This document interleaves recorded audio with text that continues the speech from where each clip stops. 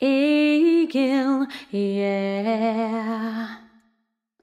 One happy birthday dot com.